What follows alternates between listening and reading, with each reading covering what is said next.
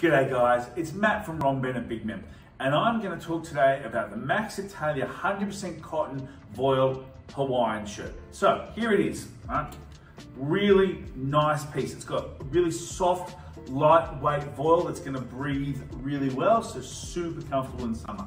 Let me run through some of the features. We can see the collar here is a soft collar and is going to work well for every person.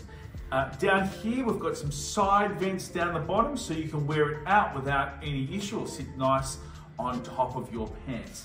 Uh, the arms are a good length, so they're not too short, plus they've got good armholes so you can have lots of movement. It's well stitched down the side and nice and strong. This is a great summer piece for down at the beach or at the barbecue.